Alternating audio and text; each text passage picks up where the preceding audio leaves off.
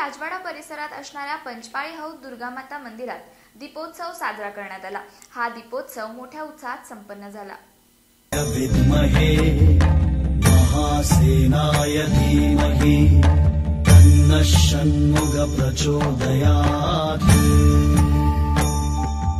ॐ तत्पुरुषाय विद्महे महासेनाय धीमहि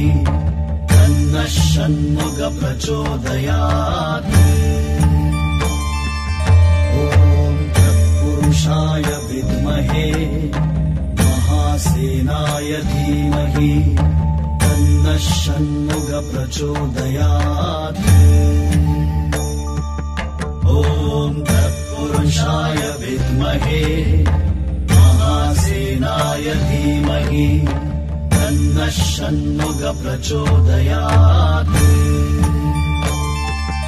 ॐ तत्पुरुषाय विद्महे महासेनाय धीमहि तन्नः षण्मुख प्रचोदयात् ॐ तत्पुरुषाय विद्महे महासेनाय धीमहि तन्नः षण्मुख प्रचोदयात् ॐ तत्पुरुषाय विद्महे महासेनाय धीमहि तन्नः षण्मुख प्रचोदयात् ॐ तत्पुरुषाय विद्महे महासेनाय धीमहि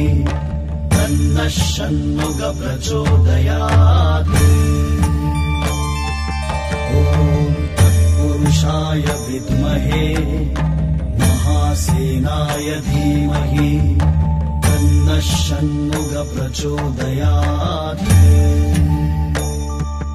ॐ तत्पुरुषाय विद्महे महासेनाय धीमहि तन्नः षण्मुख प्रचोदयात्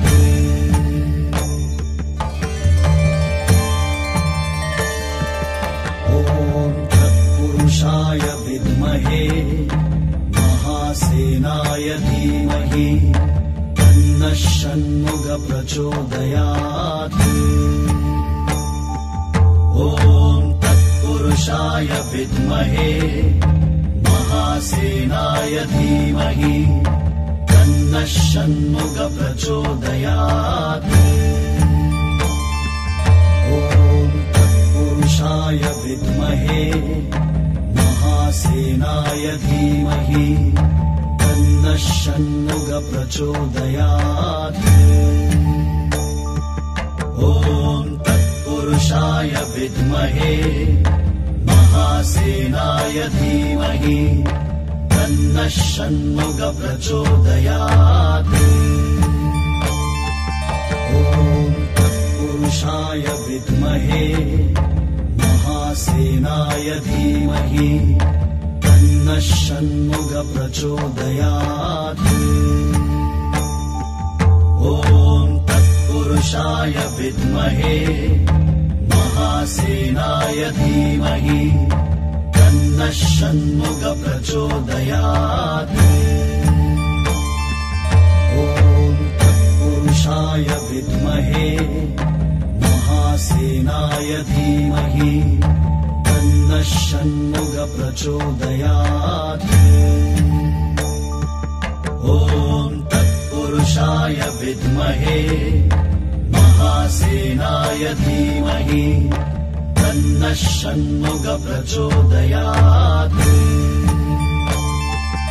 ॐ तत्पुरुषाय विद्महे महासेनाय धीमहि तन्नः षण्मुख प्रचोदयात्